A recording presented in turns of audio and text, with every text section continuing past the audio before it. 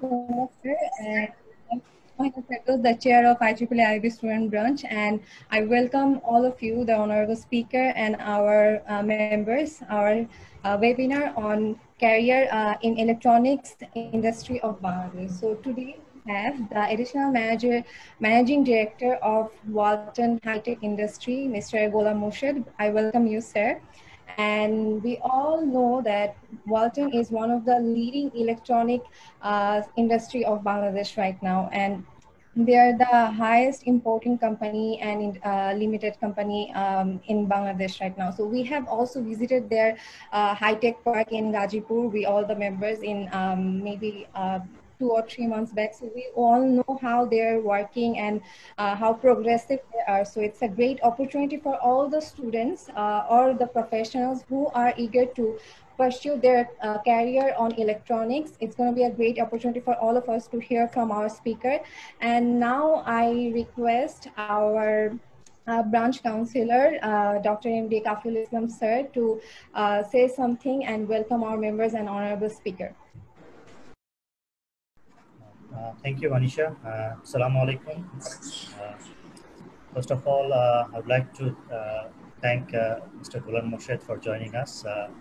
It's a great opportunity for our students to learn from his experience. Uh, on definitely, as Anisha mentioned, and we all know that it is growing very fast, and at least in last five to six years, it has tremendous growth rate. Considering the type of the consumer electronics that we can see uh, there is hardly anything left that Walton has not touched uh, to produce and, and, manufacturing and marketing.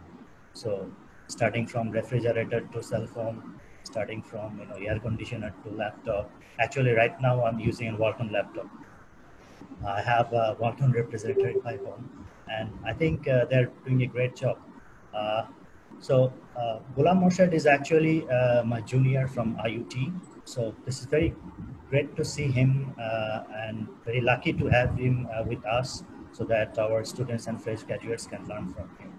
So uh, I really welcome uh, Mr. Golam Murshid Sagar uh, on this webinar and I think that uh, you are going to share with your journey with Alton and your overall experience in industry. So over to you, Anisha.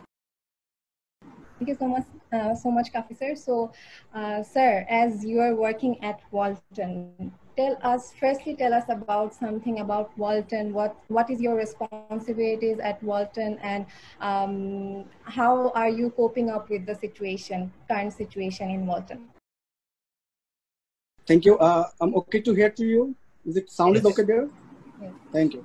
So first of all assalamu alaikum good evening. Uh, i'd like to speak in bengal is there any problem from your side? Sure sir. Sure sure. Thank you so much. Thank you thing is ওয়ালটনের journey দুই হাজার দশ সালে। দুই হাজার দশ সালে graduation করার পরে মেকানিক্যাল ইঞ্জিনিয়ারিং এ গ্রাজুয়েশন করি, তারপর দুই সালে প্রফেশনারি অ্যাসিস্ট্যান্ট ইঞ্জিনিয়ার হিসেবে আমি জয়েন করি। ফার্স্ট অফ অল আমি জয়েন করি air condition R and D ডিপার্টমেন্টে তো আর এন ডি ডিপার্টমেন্টে আর এন ডির কাজগুলো খুব ক্রিয়েটিভ টাইপের এবং কাইন্ড অফ ডেস্ক জব যে অনেক ডিজাইন করতে হয় সলিডক্স নিয়ে কাজ করতে হয় এবং মাথা খাটায় অনেক কিছু করতে হয় যেটা কিনা সারাদিন ডেস্কটপের সামনে বসে থাকতে হয়।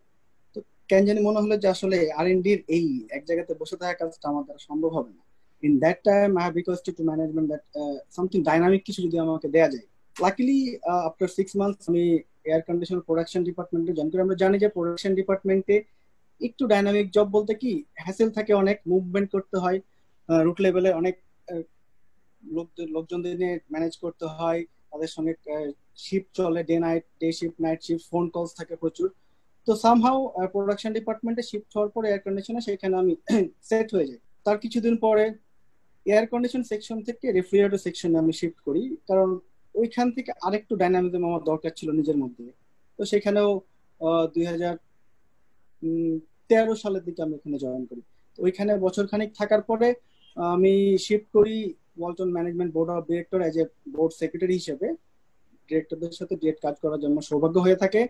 সেখানে আমি চার বছর কাজ করার পরে দুই হাজার উনিশ সালে আমি অ্যাপয়েন্টেড হই সিইও রেফ্রিজারেটর ডিভিশনে ওয়ালটনের ম্যাক্সিমাম যে মেইন ভলিউম প্রোডাকশনের সেলস এর রেভিনিউ এর বিজনেস এর সেটা হচ্ছে রেফ্রিজারেটর সেই রেফ্রিজারেটর ডিভিশনে সিইও হিসেবে আমি জয়েন করি টু থাউজেন্ড নাইনটিনে টু থাউজেন্ড নাইনটিনের মে থেকে টু থাউজেন্ড টোয়েন্টির জুন পর্যন্ত সেই পদে থাকি এবং last week just one week ago, I just got an appointment as an additional managing a regulatory post.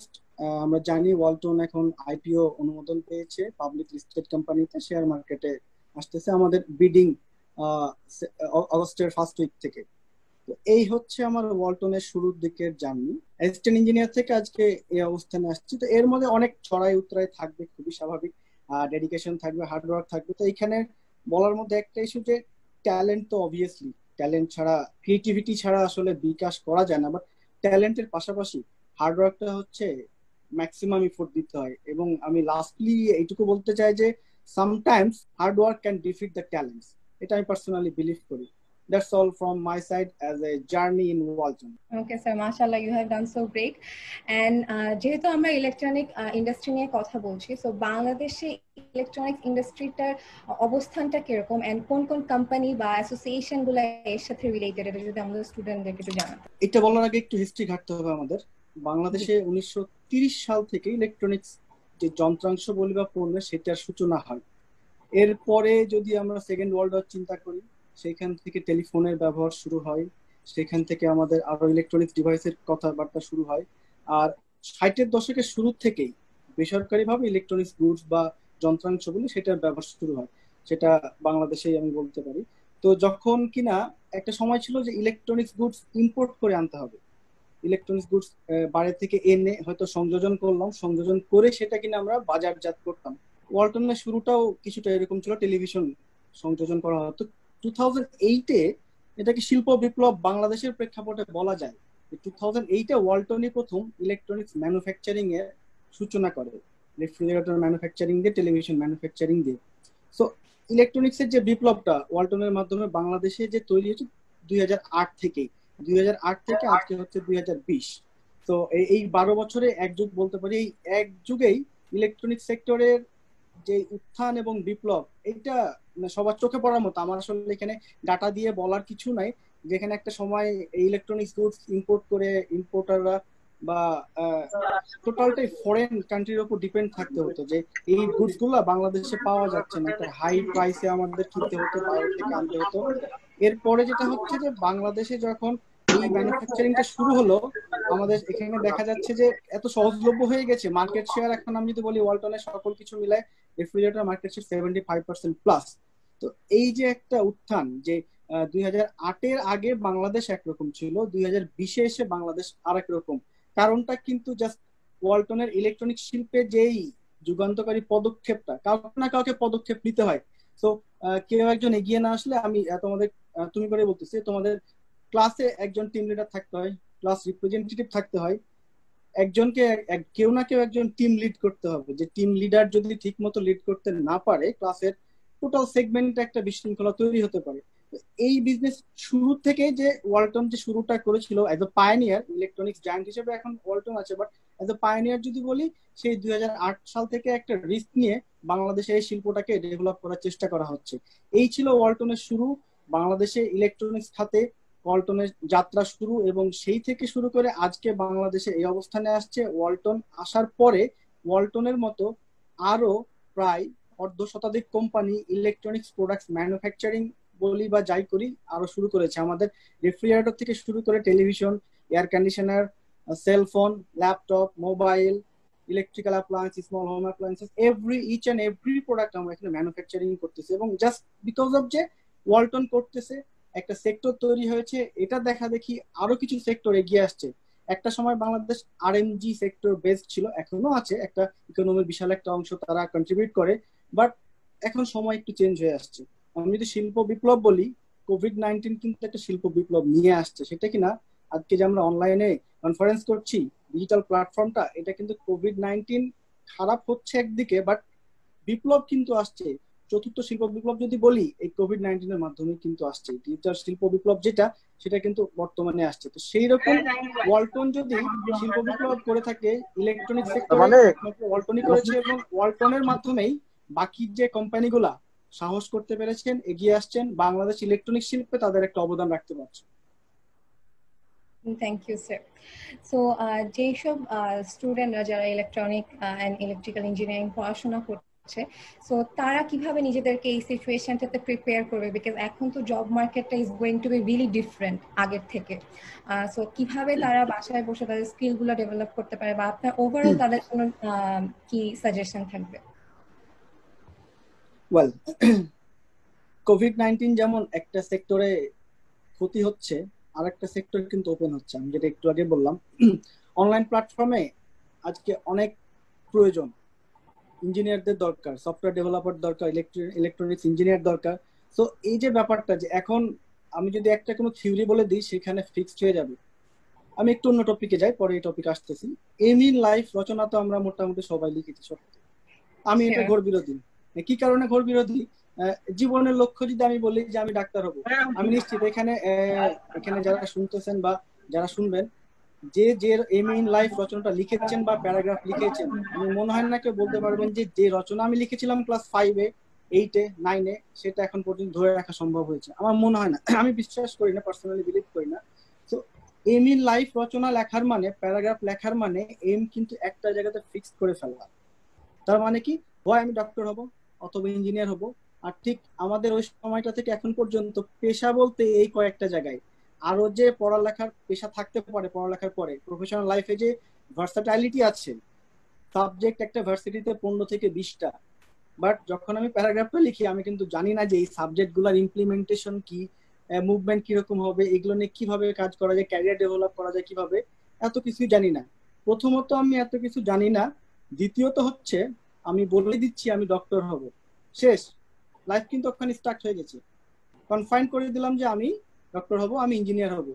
আমি যে আরও কিছু হতে পারি, এইটা থেকে কিন্তু নিজেকে আগে ছোট করে ফেললাম। তো এই একটা কারণে আমি এই জিনিসটা ঘুরে বলতে যে, এই জিনিসটা লেখার দরকার নেই, শেখানোর দরকার নেই। একটা মানুষ, একটা মানুষের কিন্তু ক্ষমতা অনেক। একটা মানুষ অনেক ক্রিয়েটিভিটি নিয়ে থাকতে পারে যে তার, সে কি করতে পারে, তার ক্ষমতার অসীমতার কারণে অনেক কিছু করে ফেলতে পারে। এখন পর্যন্ত যে শিল্প বিপ্লব বলি আর যাই বলি, মানুষের দ্বারাই কিন্তু হয়েছে, এখনও তাই করতেছে। তো আলটিমেটলি আমি যদি আমার টার্গেট ফিক্স করে ফেলি একটা জায়গাতে তার মানে কি? আমি আর নিজেকে এক্সপান্ড করতে পারলাম না। আমার যে ইঞ্জিনিয়ার হব, আর ঠিক আমাদের ওই সময়টা থেকে এখন পর্যন্ত পেশা বলতে এই কয়েকটা জায়গায়। আরও যে পড়ালেখার পেশা থাকতে পারে পড়ালেখার পরে প্রফেশনাল লাইফে যে ভার্সাটাইলিটি আছে সাবজেক্ট একটা ভার্সিটিতে পনেরো থেকে বিশটা। বাট যখন আমি প্যারাগ্রাফটা লিখি, আমি কিন্তু জানি না যে এই সাবজেক্টগুলার ইমপ্লিমেন্টেশন কি মুভমেন্ট কীরকম হবে, এগুলো নিয়ে কীভাবে কাজ করা যায় ক্যারিয়ার ডেভেলপ করা যায় কীভাবে, এত কিছুই জানি না। প্রথমত আমি এত কিছু জানি না। দ্বিতীয়ত হচ্ছে, আমি বলে দিচ্ছি আমি ডক্টর হব। শেষ। লাইফ কিন্তু ওখানে স্টার্ট হয়ে গেছে।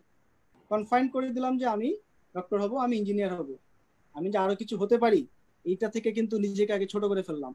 তো এই একটা কারণে আমি এই জিনিসটা ঘুরে যে, এই জিনিসটা লেখার দরকার নেই, শেখানোর দরকার নেই। একটা মানুষ, একটা মানুষের কিন্তু ক্ষমতা অনেক।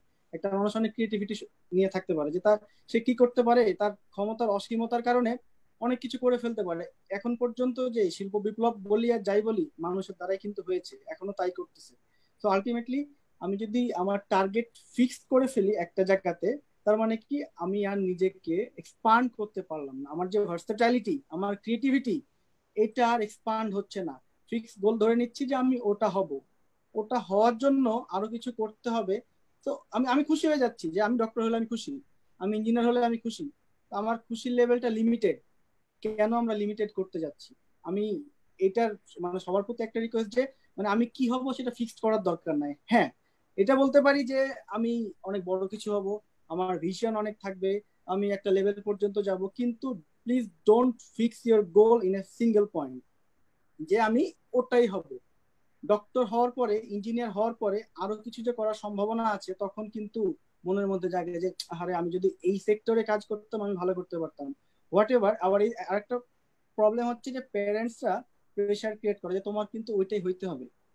তো এইটারও আমি একটা ঘোর বিরোধী। তো আলটিমেটলি জীবনের লক্ষ্য কি হবে বা আমি কি করতে চাচ্ছি, আমি যদি ফিক্স করে দেই, আমার প্যারেন্টস যদি ফিক্স করে, আমার গার্ডিয়ান যদি ফিক্স করে, এইটা লিমিটেড হয়ে যাবে। একটা জায়গা থেকে থেমে যাবে। বেটার আমার কি ভালো লাগছে, আমি কি করতে চাচ্ছি, আমার নিজের মধ্যে ফিল হবে। প্রত্যেকে জানে তা সে কোনটা কাজ, কোন কাজে পারদর্শী। কম্পিউটার সায়েন্স ইঞ্জিনিয়াররা প্রোগ্রামিং এ যদি ভালো না করে, যদি আগ্রহ না থাকে, এই কম্পিউটার সায়েন্স ইঞ্জিনিয়াররা কখনো ক্রিয়েটিভিটি শো করতে পারবে না। আমি আমি নিজের কথাই বলি যে মেকানিক্যালে আমাদের একটা ক্রেডিট ছিল। কাফি ভাই জানেন এখানে হয়তো। কম্পিউটার সিএসসির একটা টু ক্রেডিটের একটা কোর্স ছিল প্রোগ্রামিং এর জন্য। মানে কোন রকম কষ্ট করে সিজিপিএ তোমরা মোটামুটি জানোই। সি প্লাস বা কিছু একটা পেয়েছিলাম। সি প্রোগ্রামিংটা আমার মাথায় টোটালি ঢুক মানে নিতে পারতাম না। মানে কেমন যেন একটু উদ্ভট মনে হতো যে, আমি ওটার জন্য পারফেক্ট না, আমি মনে করতাম। এখন যদি কোনো কারণে আমি যদি প্রোগ্রামিং নিয়ে পড়ালেখার জন্য নিজেকে ডেডিকেটেড করতাম, আমি নিশ্চয়ই ওখান থেকে অনেক একটা ম্যাসাকার অবস্থা হতো তো আলটিমেটলি যে যেটার প্রতি মজা লাগে, যার যেটা ভালো লাগে, যার ক্রিয়েটিভিটি যেখানে নিজের মতো করে ফ্লারিশ করতে পারবে, আমার মনে হয় সে সেটাই করা উচিত। আর এই মুহূর্তে ইনস্ট্রাকশন যেটা হচ্ছে যে আমরা এটা বলব না যে না ফেসবুক ব্যবহার করা যাবে না, এটা করা যাবে না হ্যান করা যাবে না ত্যান করা যাবে না, এগুলো হচ্ছে যে বইয়ের কথা। এগুলো হচ্ছে পরামর্শ দেওয়ার জন্য দু একটা কথা। এইসব কথা বলার দরকার নাই। ফেসবুক ফেসবুকের টাইমে ব্যবহার করা যাবে প্রবলেম নাই। কাজের মাঝখানেও ফেসবুক ব্যবহার করা যায়। এন্ড সারাদিন যদি আমি সবকিছু ফালাই দিয়ে ফেসবুক ব্যবহার করি দ্যাটস ডিফারেন্ট বাট ফেসবুকে শিক্ষণীয় জিনিস আছে। ফেসবুক থেকে আমরা কাজ করতে পারি। আজকে যে আমি এই ওয়েবিনারে জয়েন করতেছি কাফি ভাই আমাকে মেসেঞ্জারেই কিন্তু লিঙ্কটা পাঠিয়েছেন। তো ফেসবুক কিন্তু কাজের, অকাজের কিন্তু কিছু না। প্রত্যেকটা জিনিসেরই ভালো খারাপ দিক আছে। আমরা খারাপ দিকটা অ্যাভয়েড করে ভালো দিকটাকে যদি মেনটেন করতে পারি, এখন অনলাইনে অনেকগুলো কোর্স অ্যাভেলেবেল আছে। দেশে বাইরে অনলাইনে অনেক কোর্স অ্যাভেলেবেল যেগুলো কিনা এই ইঞ্জিনিয়ারিং সাবজেক্টের সঙ্গে রিলেটেড তো আমরা এই কোর্সগুলো করতে পারি। আর এমনটা কেন নয় যে বাসায় বসে থাকলে নিজেকে দুর্বল বা মানে অকেজ মনে হচ্ছে। বাসায় বসে থেকে তো আমি অনেক কিছু ক্রিয়েটিভ করতে পারি, আমি চিন্তা করতে পারি। আমার চিন্তা শক্তি অনেক মানে আমাদের তো চিন্তার কোনো মানে লিমিট না লিমিটলেস একটা ব্যাপার যে মানুষের যে ব্রেন এর যে চিন্তা শক্তি, এটা অসীম একটা ব্যাপার। আমি চিন্তা করি, ভালো কিছু চিন্তা করি। কোভিডটা পার হলে আমি ওই কাজটা করব। কোভিড এর এই সিচুয়েশনটা পার হলে আমি এই প্ল্যানটা করব, এই জায়গাটুকু আমি ফিক্স করে রাখলাম, এটা করব। সো আলটিমেটলি আমি কিছু যদি করতেও না পারি, আমি চিন্তা করতে পারি আলটিমেটলি একটা কথা আছে যদি কেউ যদি খারাপ কাজ করে তাকে বাধা দাও। যদি না পারো মনে মনে অনুতপ্ত হও। তো ব্যাপারটা এরকম যে আমি এখন কিছু করতে পারছি না। আমার অ্যাবিলিটি নাই, আমার বাইরে যাওয়ার অ্যাবিলিটি নাই, আমার রিসোর্স নাই, আমি সাপোর্ট পাচ্ছি না। হোয়াট এভার আমি ইন্টারনেটের প্রবলেম হচ্ছে, আমার ডিভাইস নাই, আমার স্মার্টফোন ভালো একটা ডিভাইস নাই যে আমি একটা এরকম ওয়েবিনার করব, আমি ভালো কিছু করব, আমি অনলাইনে ক্লাস করব। হোয়াট এভার নো প্রবলেম তোমার যেটুকু আছে তুমি সেটুকু কাজে লাগাও। ব্রেন আছে ব্রেনটাকে কাজে লাগাও। চিন্তা করে রাখো প্ল্যান করে রাখো রুট ম্যাপ করে রাখো যে এইটা শেষ হলে আমরা এইটা করব। তো ফিক্স যদি কোনো প্ল্যান আমি বলি ফিক্স কোনো প্ল্যান তোমার টিচার বলে ফিক্স কোনো প্ল্যান তোমার প্যারেন্টস বলে, আমার মনে হয় এটা খুব একটা ওয়ার্ক করবে। So better work your brain own thought নিয়ে কাজ করো ওন থট নিয়ে মুভ করো যে এটা করতে আমার ভালো লাগতেছে, এটা করলে আমার ভালো লাগবে। আমার একটা স্যাটিসফ্যাকশনের ব্যাপার থাকতে পারে। প্রত্যেকেরই একটা সন্তুষ্টি থাকে যে সন্তুষ্টি অর্জন যদি নিজে থেকে না করা যায়, তো আলটিমেটলি সেটা কাজ করার জন্য কাজ করা হবে।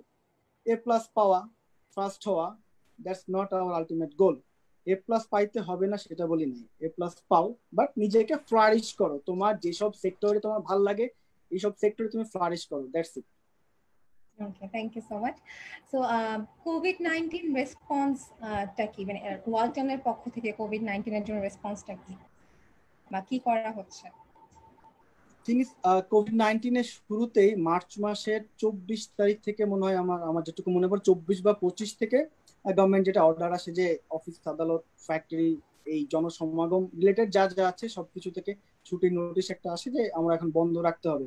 আমার স্পষ্ট মনে আছে যে সেই সূত্র ধরে আমাদের ওয়ালটন ম্যানেজমেন্ট আমাদের পক্ষ থেকেও সেইভাবেই আমরা আমাদের ফ্যাক্টরি ক্লোজ করে দেই। কিন্তু ম্যানেজমেন্টের একটা ইনস্ট্রাকশন ছিল যে এখন যেহেতু আমাদের ইঞ্জিনিয়াররা তো কাজ না থাকলে তারা তাদের মতো কাজ করবে বাট আইডল যেন না থাকে কি আইডল তো না থাকার জন্য উপায় কি? সিএসআর করো হেল্প করো পিপলকে গগলস বানানো হয়েছে এর মাঝখানে ফেস শিল বানানো হয়েছে। আমাদের ইঞ্জিনিয়ারে মোল্ড ডিজাইন করে মোল্ড এখানে বানিয়ে সেই প্রোডাক্ট আমরা অনেক জায়গায় দিয়েছি। সেই খবর হয়তো বা পেপার পত্রিকা আসছে। তারপরে কি আমরা সেফটি সেফটি যে ইকুইপমেন্ট সেফটি ডিভাইস যেগুলো আছে, সেগুলো আমরা পুরো বাংলাদেশে প্রোভাইড করলাম। লাস্টলি যেটা করা হয়েছে আমাদের ইঞ্জিনিয়ারদের এবং মেট্রনিক বাংলাদেশের সহযোগিতা মেট্রনিক হচ্ছে আয়ারল্যান্ড বেসড একটি ভেন্টিলেটর মানে মেডিকেল ডিভাইস মেকিং কোম্পানি। তাদের সহযোগিতায় তাদের সঙ্গে যে কো ব্র্যান্ডিং এ আমরা ভেন্টিলেটর নিয়ে কাজ শুরু করি।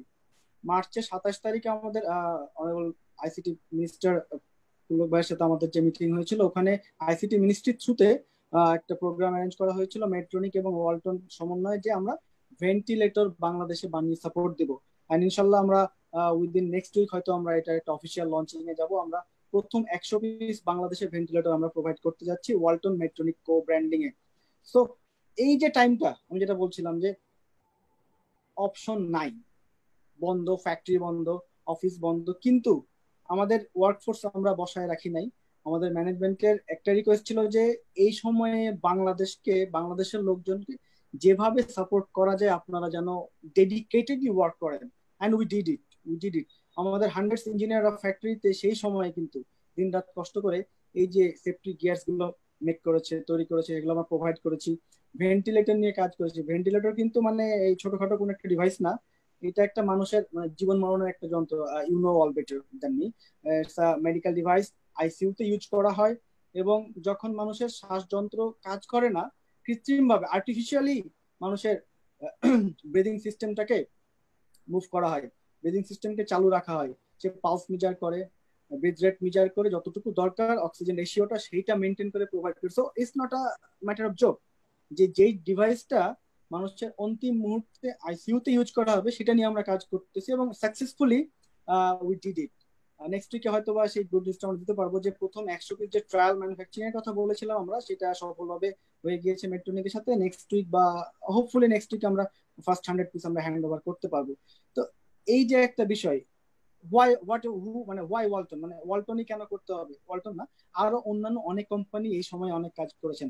ইলেকট্রনিক্স কোম্পানি আরও বড় বড় যারা ম্যানুফ্যাকচারার আছেন, যারা জায়ান্ট কোম্পানি আছেন, তারা এই সময় সাপোর্ট দিয়েছেন বাংলাদেশকে। তো ওয়ালটনের এই কথাটা বলার মেসেজটা হচ্ছে এরকম যে, আমার পজিশন আমার সিস্টেম আমাকে সিচুয়েশন আমাকে সাপোর্ট করতে না পারে বাট আমার যতটুকু আমার রিসোর্স আছে, এটুকু যদি আমি কাজে লাগানোর চেষ্টা করি হোয়াট এভার তোমাদের আইউবি বা এখানে যারা আছেন তারা একটু যদি কমিউনিটি গ্রো করা হয়, তারা যদি বলা হয় যে না, কিছু না, আমরা দশ টাকা করে প্রত্যেকে পার হেড এই যে স্টুডেন্ট দশ টাকা ইস নট বিগ ডিল আমরা অনেক খরচ করি, অনেক কিছু দশ টাকা পার হেড কোনো ইস্যু না। যদি বলি যে দশ টাকা করে টাকা দিয়ে আমরা যদি দশ জন থেকে একশো টাকা করে যদি দুজনকে একবেলা খাবার দেওয়া, এটাও কিন্তু একটা কাজ। তো এই যে এই টাইমটা এই টাইমটাকে আসলে মানে চিন্তা শক্তির পাশাপাশি যে কোনো একটা ইফোর্ট দেওয়া একটা কাজ যে আমরা ভালো কিছুর জন্য ব্যয় করি। তো এইটুকুই হচ্ছে আমার বলার যে, আসলে বাসায় বসে থাকলে বোর লাগবে, খুবই স্বাভাবিক। আমরা এখন অফিস করতেছি, বাসায় এই ওই দুই মাস কাজ করার মধ্যে থাকার পরেও যে মাঝে মধ্যে এক দুই দিন বাসায় থাকতে হতো, সেটা বোর লাগতো। তো এরপর যারা দুই মাস, তিন মাস ধরে বাসায় বসা, আমাদের প্যারেন্টসরা যারা, তারা বাইরে বের হচ্ছেন না। তো তাদের জন্য একটা বোর ফিল হওয়াটাই স্বাভাবিক। তো আমাদের যে এই বয়সে ইয়াংরা তোমাদের মতো যারা ইয়াং চ্যাপ আছে তারা তারা তো বাসায় বসে থাকতে বোর লাগবে। তো তোমাদের যে ক্রিয়েটিভিটি তোমাদের মতো করে তোমরা সাজায় নাও। তোমরা কি করলে ভালো লাগতে পারে? ব্যাপারটা এরকম লাইফ রিস্ক নিয়ে কিছু করতে বলছে লাইফ রিস্ক নেওয়ার দরকার নেই। যতটুকু সম্ভব ততটুকু ইফোর্ট দাও that's it thank you so much so এখান থেকে আমরা খুব ভালোভাবে শিখতে পারলাম যে আপনি ভালো কিছু করার জন্য you only need good intentions and then you are good to go effort তো একটা ফ্রেশ গ্র্যাজুয়েট যখন ওয়ালটনে ঢুকতে যাবে তো সিজিপিএটা অনেক জায়গায় ম্যাটার করে অ্যান্ড ম্যাটার করে এটা অনেক বড় একটা কনফিউশন থাকে যে আমার সিজিপিএ কম বা অনেকের অনেক ভালো থাকে সো আমি কীভাবে ঢুকবো বা অনেকে ভাবে যে থ্রি এর নিচে আমার সিজিপিএ আমি ঢুকতেই পারব না কোথায় অ্যাপ্লাই করতে পারব না সো নিরাশ হয়ে যায়। So in that case Walton সিজিপিএটাকে কীভাবে দেখে? আর একটা ফ্রেশ ট্রিপলি গ্র্যাজুয়েটের কোন স্কিল সেটগুলো অ্যাকচুয়ালি দেখা হয় যখন রিক্রুটমেন্টের টাইমে আর কি? অ্যাজ এ ইঞ্জিনিয়ার এটা একটা কন্ট্রোভার্সিয়াল ইস্যু আমি যেটা বলব, সবার ভালো লাগবে ঠিক এই মুহূর্তে। আবার কিছু জায়গাতে খারাপ লাগবে। কাফি ভাই আছেন এখানে। You was a good student you was rank student electrical department from IET খুব ভালো সিজিপিএ হোল্ডার তিনি।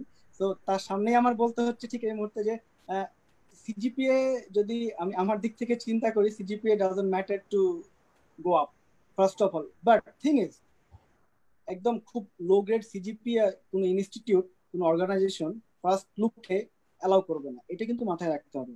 আমি যদি বলি যে হ্যাঁ একটা কোন রকম একটা নিয়ে এক জায়গায় জয়েন করার পরে তারপর তুমি তোমার ক্রিয়েটিভিটি দেখাও।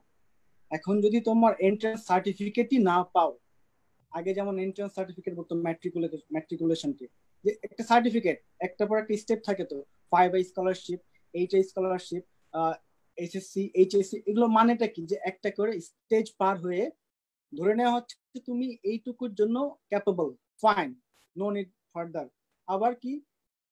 এই ম্যাট্রিক পরীক্ষা এসএসসি ধরে নেওয়া হচ্ছে এটা যদি ভালো রেজাল্ট করো এটুকুর জন্য তুমি capable next stage go for HSC HSC done go for university under grad সেটাও ডান গো ফর মাস্টার্স তিন এগুলো হচ্ছে একটা করে স্টেজ যখনই ধরে নিচ্ছি যে আমার বা সিপিএ ফাইভ যদি ওগুলো তো পেয়ে যাই যায় আন্ডার গ্র্যাডে কেনই বা খুব খারাপ করব?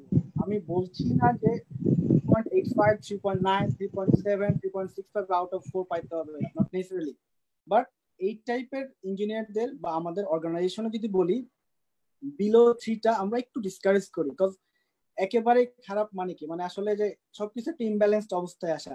আমরা ধরে নিচ্ছি যে থ্রির ওপরটা মোটামুটি চলে যায় আর কি। থ্রির ওপরে যারা তারা হচ্ছে সবকিছু ব্যালেন্স করে চলতে পারে। Three point more than three point six three point six five তারা অন্য লেভেলের আর কি, খুব ভালো স্টুডেন্ট তারা। They are good student so আমরা ওই লেভেলটা চিন্তা না করি, আবার বিলো থ্রিটাও চিন্তা না করি। ইন দ্য মিড রেঞ্জ যেটা পড়ছে, এটাকে ধরে নিচ্ছি যে, এই লেভেলটা তারা খেলাধুলা পারে, তারা পড়ালেখা পারে, তারা মুভি দেখে, তারা গেমস খেলে, তারা আড্ডাবাজি পছন্দ করে, তারা সবকিছুতেই নিজেদের মধ্যে রাখে। যার কারণে কি? খুব, এরা খুব হাইও যায় নাই, আবার খুব লোতেও যায় না এটা হচ্ছে আমার পার্সোনাল পারসেপশন এখানে অনেক মানে কন্ট্রোভার্সিয়াল ইস্যু আসতে পারে, অনেকের কথা আসতে পারে, তাহলে বলবেন যে, না, তাহলে কেন আপনি বলতেছেন আমাদেরকে পড়ালেখা করব না? অবভিয়াসলি পড়ালেখা করতে হবে। আবার যদি কেউ বলে যে, না সিজিপিএ তো খুব একটা ম্যাটার করে না, তাহলে একটা কিছু করলেই হয়। আবার যারা three point six five seven five পাচ্ছেন, তারা যদি বলেন যে, না, তাহলে এত পড়ালেখা করতেছে, আপনি কেন ডিসকারেজ করছেন? আমি বেসিক্যালি কাউকে ডিসকারেজ করছি না, কাউকে হিউমিলেট করছি না আবার কাউকে ওভারফ্লোস কিছু বলছি না। ব্যাপারটা এরকম যে মিনিমাম একটা সিজিপিএ ধরে রাখাটা অবশ্যই দরকার। এটা আমি কখনো ডিসকারেজ করব না। Try to maintain three and above যেটা ফার্স্ট ক্লাস বলি আমরা। Three and above honours no need three and above maintain করো। এটার মধ্যে থাকো। খুব হাই গ্রেড সিজিপিএ হলে আমাদের একটা মানে এটা কমন একটা কনটেক্সট যে, দেশের বাইরে চলে যায়। More than three point seven five more than eight আমাদের দেশের বাইরে চলে যাওয়ার একটা প্রবণতা আছে স্কলারশিপ নিয়ে চলে যায়। এটা হচ্ছে সত্য ঘটনা যে অর্গানাইজেশনগুলো চিন্তা করে যে আমি যে একটা ইনভেস্ট করব, এটা তো আমার একটা আমার রিসোর্স একটা, যে আমার একটা সম্পদ, একটা অ্যাসেট যে ইন্টেলেকচুয়াল প্রপার্টি আমি একজনকে রিক্রুট করব, সে কয়দিন পরে দেশের বাইরে চলে যাবে, তো আলটিমেটলি কি হবে? যে আমি তাকে যদি ওয়ান ইয়ার টু ইয়ারও যদি আমি কিছু শিখাই থাকি, তার কাছ থেকে আমি কিছু পাবো না। টু ইয়ার্স পরে কি হবে? দেশের বাইরে গিয়ে সে তো ইনস্টিটিউট অর্গানাইজেশনে থাকলোই না, দেশেও থাকল না বাইরে চলে গেল। আমি ডিসকারেজ করছি না বাইরে যাওয়া বাট আমার কথা হচ্ছে যে, যদি আমি কোথাও জয়েন করি দেন সেখানে যেন একটু টাইম দিই। একটা সেক্টরে একটা অর্গানাইজেশনে যদি আমি উপরে যেতে চাই, আমার লেভেলে যদি পিক করতে চাই, একটু সময় দিতে হবে। একটা মানুষ সময় হতে তো সময় লাগে। বাস্তবতা। আঠারো বছর বয়স না হলে আমি মানে প্রাপ্ত বয়স্ক বলি না। যদি আমি একটা মানুষের জন্য আঠারো বছর বয়স হওয়াটাকে প্রাপ্ত বয়স্কর বেঞ্চমার্ক ধরি তাহলে একটা অর্গানাইজেশন কেন একজনকে রিক্রুট করার পর এক্সপেক্ট করবে না যে সেই মানুষটা চার পাঁচ বছর তার এখানে থাকুক? তো থাকার যে ব্যাপারটা, নিজের মধ্যে একটা মানে আগ্রহ প্রকাশ, আগ্রহ থাকতে হবে যে আমার এইটা ভালো লাগতেছে। এই কোম্পানিতে আমি জয়েন করলাম, এই কোম্পানিতে আমার ভালো লাগতেছে। এর সবকিছু আমার ভালো লাগে, একটা ভালোবাসা তৈরি হইতে হবে যে, না, আমি যা করতেছি ভালো লাগে করতেছি, কাজ তো সবাই করে। কাজের তো অভাব নাই, কাজ, এই একটা অর্গানাইজেশনের রুট থেকে টপ পর্যন্ত সবাই কাজ করে। কিন্তু যে ডেডিকেশনটা এটা সবার মধ্যে আসে না। আসার চেষ্টা হয়তো আমাদের কম থাকে। কিন্তু যারা, যারাই কিনা ডেডিকেট ডেডিকেশন দিয়ে কাজ করে, যারাই মোটামুটি একটা লেভেলে হার্ডওয়ার্ক করে, তারাই কিন্তু দেখবেন যে একটা লেভেল পর্যন্ত পৌঁছে গেছে। অনেক হিস্ট্রি আছে, অনেক ইতিহাস ঘাটলে দেখা যাবে যে রুট লেভেল থেকে শুরু করে আজকে এই পর্যন্ত আসছে। বিভিন্ন কোম্পানির সিইও বিভিন্ন কোম্পানির সিইও তাদের কিন্তু তাদের পরিশ্রম দিয়ে উঠে আসছে। তো স্যার আমার রিকোয়েস্ট একটা যে যদি আমি প্রথমত আমি ডিসকারেজ করব না বাট বলব যে দেশে থাকলে মনে ভালো। দেশে থাকলে যেটা হবে যে দেশকে কিছু দেওয়ার জন্য আর কি। আমরা তো মুক্তিযুদ্ধ করি নাই। আমরা জানি না নাইনটিন সেভেন্টি অনেক কি হয়েছিল। তো এটা এরকম কেন চিন্তা করি না যে যুদ্ধ করি নাই, দেশ স্বাধীন করার ব্যাপারটা আমাদের ফিল্ডটা আসে নাই। তো এখন আমাদের হাতে কিন্তু কিছু দায়িত্ব আছে যে, দেশটাকে আমাদের এগিয়ে নিয়ে যেতে হবে। আজকে আমাদের কিছু করতে হতে পারে। একা কিছু করা সম্ভব না। কোশ্চিন আসবে এখন যে, আমি একা কীভাবে দেশ পরিবর্তন করব? আসলে একা দেশ পরিবর্তন করা সম্ভব না। একা দেশ পরিবর্তন করতে গেলে দেশের প্রধানমন্ত্রী হতে হবে, প্রেসিডেন্ট হতে হবে। সেটা তো একজন একজন করেই হবে। পাঁচশো, এক হাজার জন তো সেটা হবে না। তো কি করতে হবে? যার যার জায়গা থেকে আমরা চেষ্টা করি। আমরা যদি রাস্তাঘাটে বের হয়ে কিছু একটা হলেই প্রশাসনকে দায়ী করি, আমার কথা হচ্ছে প্রশাসনকে দায়ী না করে ওটুকু তো আমারও দায়িত্ব। আমি তো কন্ট্রিবিউট করতে পারি। তো আমার কন্ট্রিবিউশন যদি আমি যেখানে কাজ করছি, সেখানে যদি দেই আজকে তোমরা ভার্সিটিতে যদি স্টুডেন্ট হয়ে থাকো, তুমি যদি তোমার ভার্সিটিকে কন্ট্রিবিউট করো ভার্সিটির সবকিছু সংরক্ষণ করো ঠিকঠাক ভাবে মেনে চলো, তাদেরকে কোঅপারেট করো, এটা কিন্তু একটা কন্ট্রিবিউশন আমি আমার যে অর্গানাইজেশনে থাকব, সেখানে যদি আমি কন্ট্রিবিউট করি, সেই অর্গানাইজেশন যদি দেশকে কন্ট্রিবিউট করে আলটিমেটলি তোমরা কিন্তু এক একজন সেই অর্গানাইজেশন হয়ে দেশের পক্ষে কিন্তু এক একজন দেশের শিল্প বিপ্লবের কিন্তু যোদ্ধা। আমি এটা পার্সোনালি বিলিভ করি যে নিজেকে যদি যোদ্ধা মনে করতেই হয় নাইনটিন সেভেন্টি ওয়ানের আগে জন্ম নেওয়াটা ম্যান্ডেটরি না।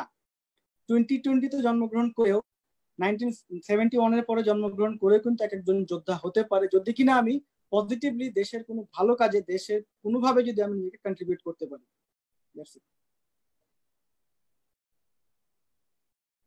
আনমিউট করতে হবে। Okay, sorry. So, uh, thank you so much একটা অনেক ভালো একটা ইনসাইট ছিল but at the same time একটা খুব প্র্যাকটিক্যাল ব্যাপার থেকে এখানে যে একটা ফ্রেশ গ্র্যাজুয়েট ট্রিপলি গ্র্যাজুয়েট যখন দেখা যায় যে অ্যাপ্লাই করে কোনো জায়গায় মানে তার ফিল্ডে ইলেকট্রিক্যাল বা ইলেকট্রনিক্স যে ফিল্ডেই হোক না কেন সো স্যালারি স্কেল যেটা থাকে this is a very practical thing because আমরা সবাই হয়তো হ্যাঁ সবাই পড়াশোনা করছে but lot of us has to support their family বা মানে কাজ করে they have to give back up to their family so যেটা থাকে যে দেশে কাজ করার ক্ষেত্রে যেটা দেখা যায় যে it takes at least five to six years to develop a minimum salary scale which is like you know sober salary scale but দেখা যায় যে যখন সেই সেম স্টুডেন্টে দেখা যাচ্ছে যে সেম স্কিলের সাথে দেশের বাইরে।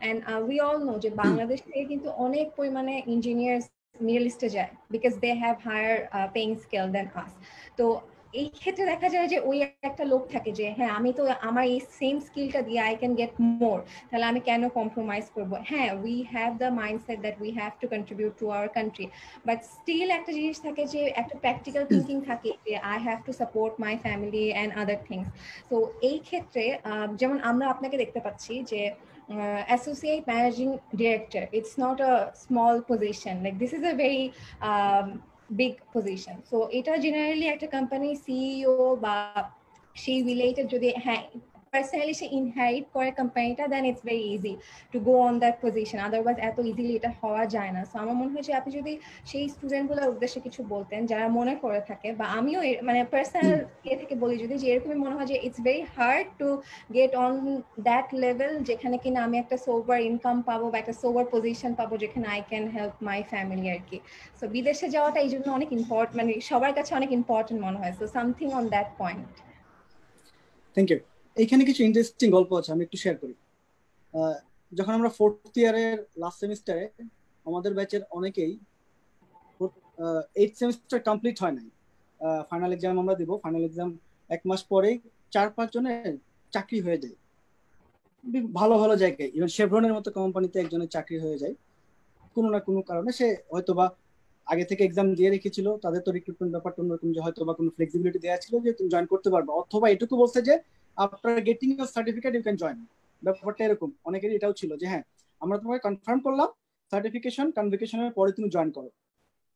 তখন কি হচ্ছে? আমরা যারা এইট সেমিস্টারের আমাদের কঠিন কঠিন সাবজেক্টগুলো রেফ্রিজারেশন এয়ার কন্ডিশনের মতো কঠিন সাবজেক্ট মেটালার্জি আর মেকানিক্স ডাইনামিক্স এর মতো সাবজেক্ট নিয়ে যখন আমরা টেনশন করতেছি পরীক্ষায় রেফার খাই কিনা পাস করতে পারি কিনা, তখন শুনতেছি যে, চার পাঁচ জনের চাকরি হয়ে গেছে। জাস্ট থিঙ্ক করো যে, তুমি ফোর্থ ইয়ার স্টুডেন্ট কয়েকদিন পরে তোমার গ্রাজুয়েশন হবে এবং তুমি তোমার রেজাল্ট নিয়ে কনফিউজ যে কি হয় কনভোকেশনটা আবার কোনো একটা রেফার খেলে কনভোকেশন পাবো না। ইটস ইন্টারেস্টিং থিং যে আমি কনভোকেশন নিয়ে থিঙ্ক করতেছি, এখানে পাঁচ জনের চাকরি হয়ে গেছে। তো এই যে একটা মানে ডিলেমা যে একটা কনফিউশন নিজের মধ্যে নিজের মধ্যে একটা খারাপ লাগা যে, তাহলে কি আমাদের কিছু হবে না? তাহলে আমি কিছু করতে পারব না? এইটা একটা point at the same point যখন পাশ করার পরে চাকরিতে জয়েন করতেছি অমুকে টোয়েন্টি ফাইভ কে পায়, আরেকজন থার্টি কে পায় থার্টি ফাইভ কে পায় ফর্টি ফাইভ কে পায়। আমরা যারা শুরু করি না প্রথম দিকে, প্রথম এক, দুই সপ্তাহ, তাহলে কি আমাদের কিছু হবে না? তাহলে করিটা কি? মানে সবাই ভালো ভালো জায়গায় চলে যাচ্ছে। তো এই যে স্যালারির ব্যাপারটা এটা একটু আপেক্ষিক। আইনস্টাইনকে আমি পছন্দ করি তার আপেক্ষিক তত্ত্বের জন্য। এই একটা তত্ত্ব দিয়ে পৃথিবীতে যে কোনো কনটেক্সট যে কোনো টপিককে এক্সপ্লেন করা যায় এটা একটা আপেক্ষিক তত্ত্বের মতোই। আমার কাছে ঠিক ওই সময়ে যে ঘটনাগুলো মনে হয়েছিল, এখন নিজের কাছে মনে হলে একটু হাসি পায়। যে ওগুলো নিয়ে কেন মন খারাপ করতাম? নিজের মধ্যে একটা সাফোকেশন হতো। ফ্রাস্ট্রেশন আসতো যে হ্যাঁ আমি তো, আমি চিন্তা করতেছি আমি পাস করতে পারব কিনা? আর একজন খবর দিচ্ছে আমাকে, আমি এই পাস করার পরপরই চাকরিতে জয়েন করব। কনফার্মেশন পেয়ে গেছি।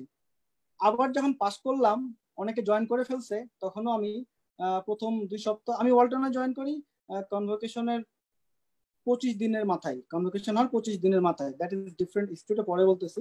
তো এই পঁচিশ দিনের মধ্যে অনেকে ম্যাক্সিমামই জয়েন করে ফেলছে। তখন আবার মধ্যে একটা নিজের মধ্যে ইয়া সৃষ্টি হচ্ছে যে, তাহলে উপায় কি এখন? যে কি করি? এত স্যালারিতে একজন জয়েন করছে, অমুক বড় ভাই অমুক জায়গায় জয়েন করতেছে, অমুক জায়গায় চাকরি করতেছে, না জানি খুব ভালো আছে। এই যে অবস্থানটা, তখন মনে হচ্ছিল তারা খুব ভালো আছে। আবার যখন নিজে একটা কিছু পাওয়া যায়, আবার তখন এই আমি কত কম্পারিজন করি। মানুষ প্রত্যেকটা স্টেজে গিয়ে প্রবলেম হচ্ছে যে, আমি কম্পেয়ার করতেছি আর এক জায়গাতে মনে হয় ভালো আছে। ওই পারে মনে হয় সুখ আছে। ওই জায়গাটাতে মনে হয় খুব সবাই ভালো আছে। ব্যাপারটা আসলে কিন্তু এরকম না। আমাদের অনেক ফ্রেন্ড দেশের বাইরে আছে। কাফি ভাইয়া সেখানে তাদেরও ম্যাক্সিমাম ফ্রেন্ড দেশের বাইরে আছেন যে ব্যাপারটা কিন্তু যেটা আমরা বলতেছি যে, একজন স্টুডেন্টের কাছে গ্র্যাজুয়েট আন্ডার গ্র্যাড স্টুডেন্টের কাছে এটা মনে হতে পারে যে মিডল ইস্টে অনেক হাই স্যালারি দেয়। বাহিন্ড দ্য স্টোরি কিন্তু এরকম না। হাই স্যালারি যদি দিয়ে থাকে, তোমার ওইখানে যে কষ্ট আর ডিসস্যাটিসফ্যাকশন তুমি তোমার বাসায়, তোমার বাবা মার সাথে থেকে, তোমার আত্মীয় স্বজনের সাথে সারাদিন টাইম কাটায় অফিসের পরে গিয়ে দেখা করতে পারতেছো ফ্রেন্ডদের সাথে মিট করতে পারতেছো হ্যাং আউট করছ সপ্তাহে একদিন বা দুই দিন, এই সকল কিছু কিন্তু তোমাকে স্যাক্রিফাইস করতে হচ্ছে।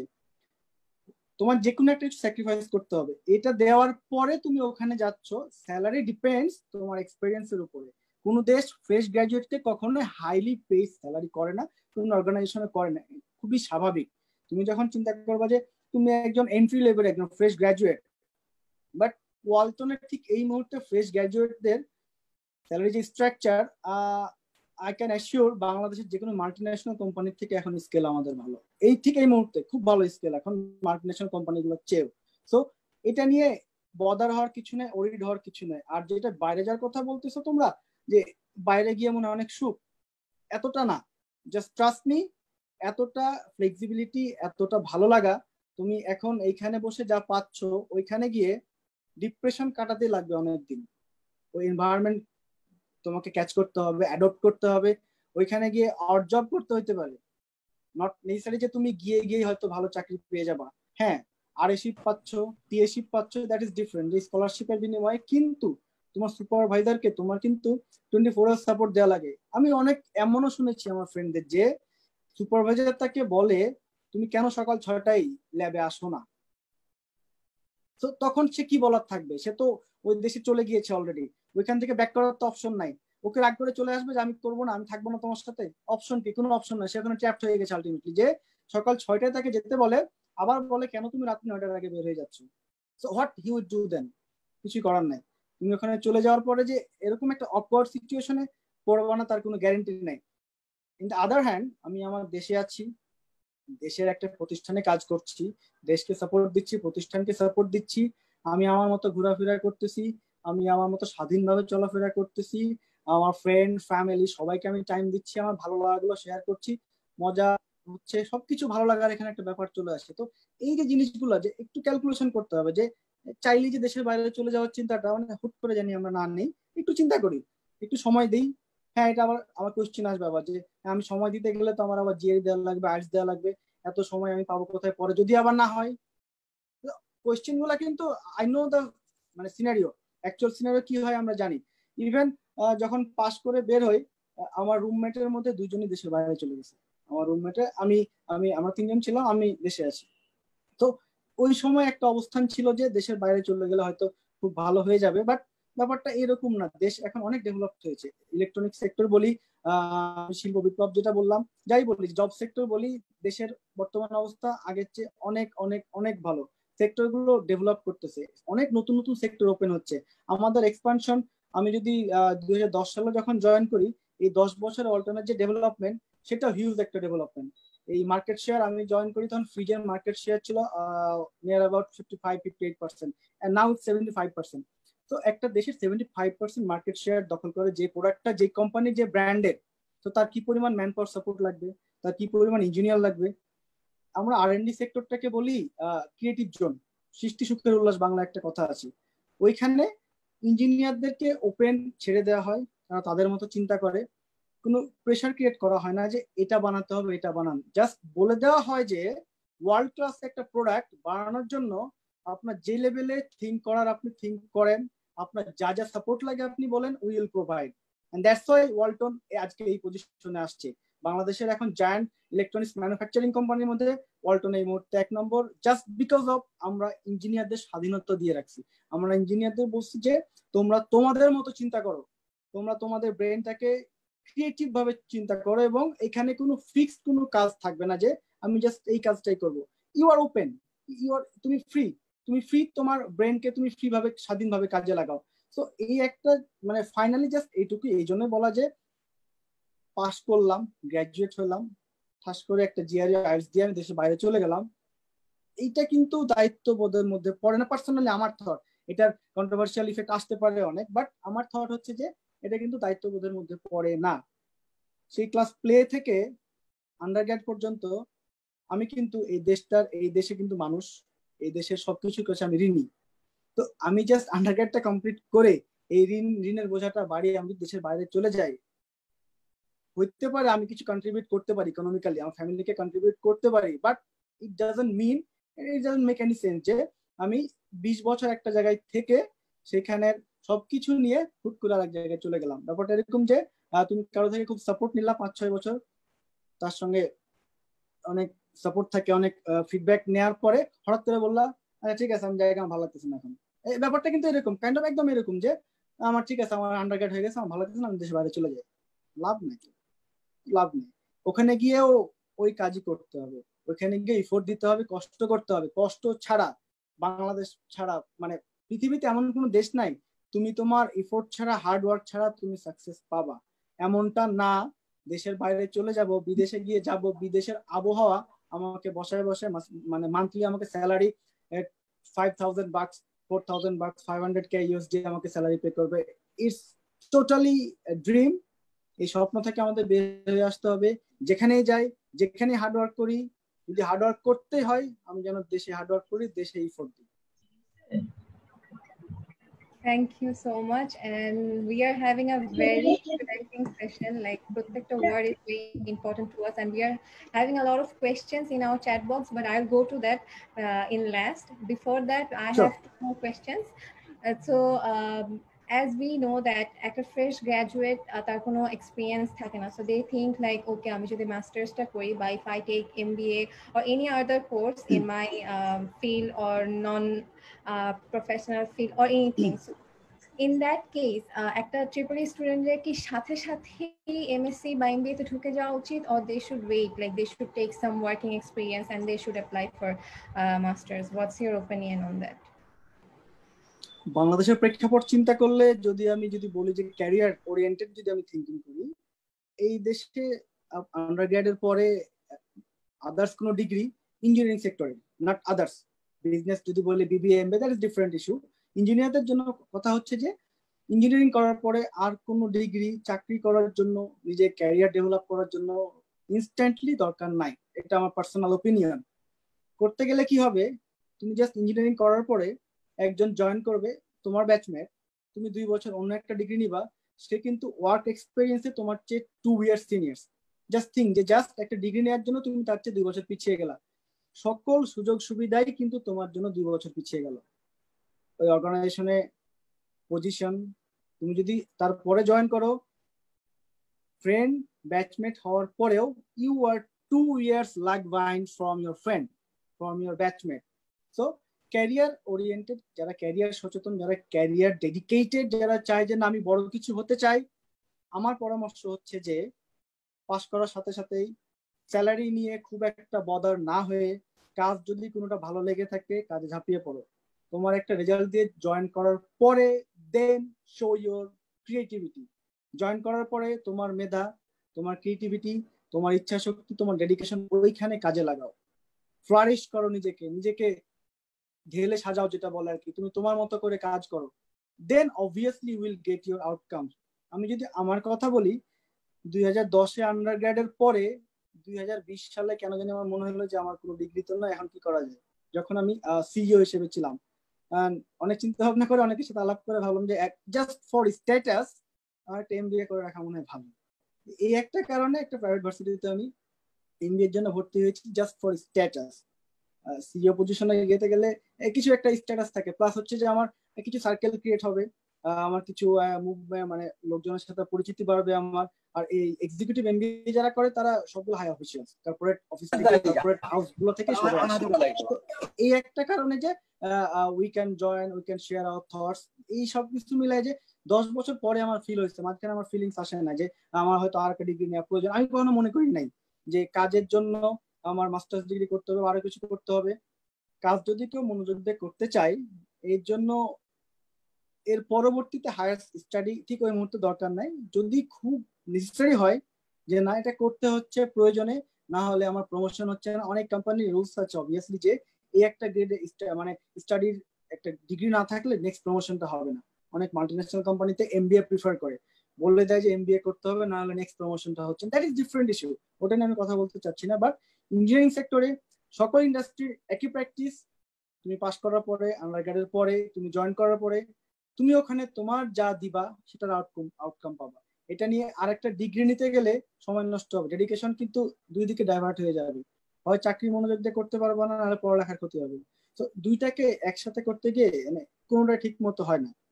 দুইটা ভালোভাবে মেনটেন করতে পারলেও একটা দিক একটু হলেও ক্ষতি হয়। যদি ক্যারিয়ার নিয়ে সচেতন হই বড় কিছু হতে যায় ক্যারিয়ার ফোকাস থাকাই ভালো।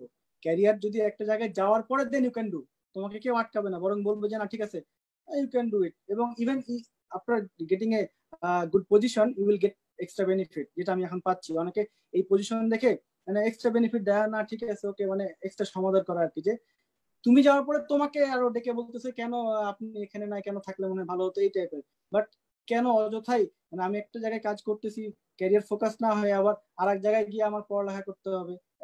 আই ডোন্ট থিঙ্ক সো যে এই কন্ট্রোভার্সিয়াল ইস্যুটা মানে একটা কনফ্লিক্ট তৈরি করে, আমি এটা পক্ষপাতি না।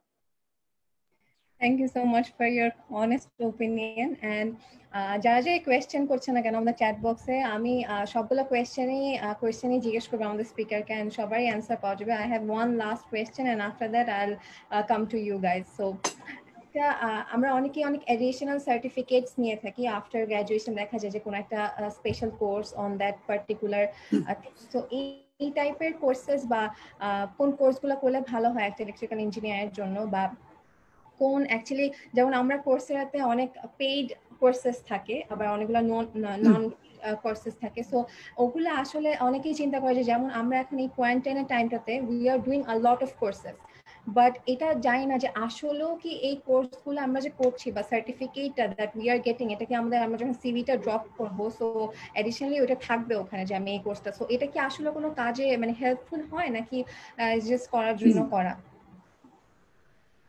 না কোশ্চেনটার আনসার অনেকভাবে দেওয়া যায়। ফার্স্ট অফ অল আমার এখন টাইম কাটছে না। আমি কোর্স সিলেক্ট করার কোনো গাইডলাইন পাচ্ছি না। আমাকে সাজেশন দেওয়ার মতো কেউ নাই যে কিনা বলবে যে এটা করলে ভালো। দেন যেটা হচ্ছে যে ফার্স্টে অনেকগুলো কোর্স থেকে জাস্ট র্যান্ডমলি পিক করা। One two five four five seven that's all যে আমরা এই কয়টা কোর্স যদি এই মুহূর্তে করতে যাই, এইভাবে যদি করে থাকে যে তার ভালো লাগা থেকে করতে পারে। দ্যাট ইজ ডিফারেন্ট ইস্যু এটা দোষের কিছু নাই। বাট এই যে শর্ট কোর্সগুলা ভালো, এগুলো অবভিয়াসলি ভালো। এটা ভালো তখনই যদি আমি ফোকাস হয়ে যদি করতে পারি যে আমি যেইখানে কাজ করছি বা আমি যেটা করতে চাই সেটার সাথে যদি লিঙ্ক থাকে অবভিয়াসলি ভালো। যে কিনা প্রোগ্রামার হতে চাই, তার কম্পিউটার সায়েন্স রিলেটেড যেসব শর্ট কোর্স থাকে, সেগুলো করলে ভালো। যে ব্যবসায় পড়তে চায় এমবিএ বিবিএ করতে চায়, তার সেই টাইপের পড়ালেখা করা ভালো। যে এফসিএ বা আইসিসি এই টাইপের করতে চায়, তাদের শর্ট কোর্স ওই টাইপ হওয়া ভালো। যে, আমার কথা হচ্ছে যে, যেই যেই সেন্ট্রিক যার টার্গেট যে যে মুভমেন্ট যে যে, না, আমি এই লাইনে থাকতে চাই, আমি এটা করতে চাই। হতে পারে সেটা প্রফেশনাল লাইফ হতে পারে স্টুডেন্ট লাইফে স্টুডেন্ট লাইফেরও অবভিয়াসলি অনেকেরই একটা চিন্তা ভাবনা থাকে যে না, আমি এই জায়গাতে কাজ করতে করতে হয়তো একটা ভালো কিছু করার ইচ্ছা আছে। আবারও বলতেছি, কোনো এম ইন লাইফ না। এটা হচ্ছে যে নিজের ক্রিয়েটিভিটি থেকে, নিজের ইচ্ছা থেকে একটা কিছু আসা যে ক্লাস ফাইভে এম ইন লাইফ লেখা আর ভার্সিটি লাইফে এম ইন লাইফ নিয়ে চিন্তা করার মধ্যে আকাশ, পাতাল, ফারাক। যে মানুষটা জানে না ডক্টরের রোল কি, তাকে লিখতে বলা হচ্ছে, আমি বড় হয়ে ডাক্তার হব।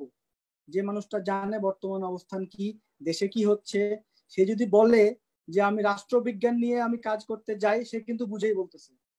আফটার টোয়েন্টি ইয়ার্স বিশ বছরের একটা মানুষ যা চিন্তা করবে তার সাথে দশ বছরের বা আট বছরের একটা মানুষের চিন্তা করার মধ্যে বিস্তর ফারাক, আকাশ পাতাল ফারাক।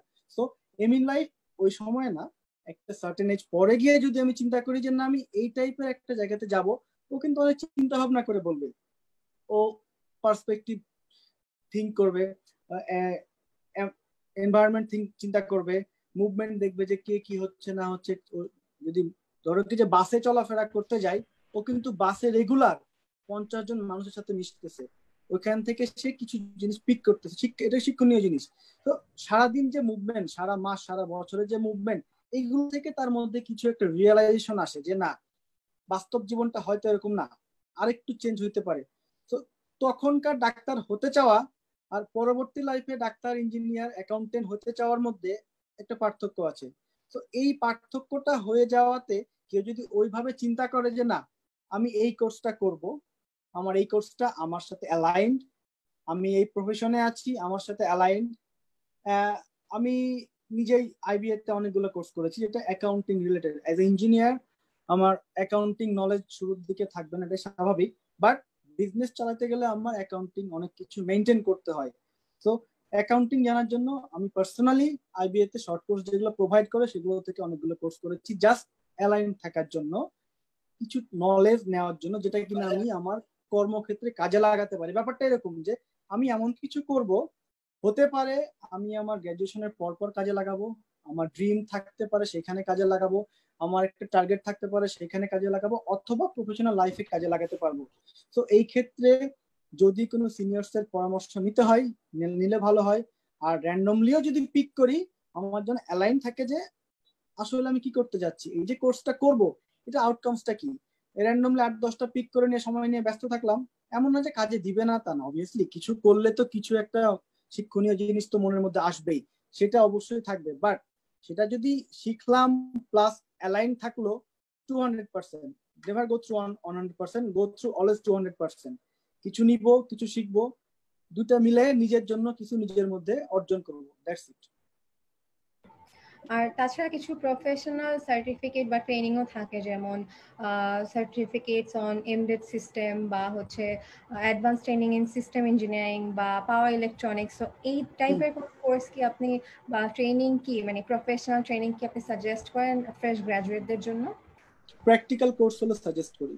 যদি প্র্যাকটিক্যাল কোর্স হয়ে থাকে যে, না, আমি এমবেডেড সিস্টেম নিয়ে কাজ করব, আমি এআই নিয়ে কাজ করব, আমি আইওটি নিয়ে কাজ করব it must be practical not only theory theory দিয়ে এইসব কোর্সের আলটিমেট কোনো গোলে রিচ করা যায় না।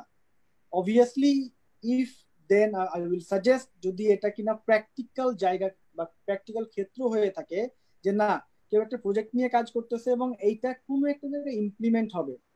একজন আর এন ডি ইঞ্জিনিয়ার অনেকভাবে ডিজাইন করতে পারে।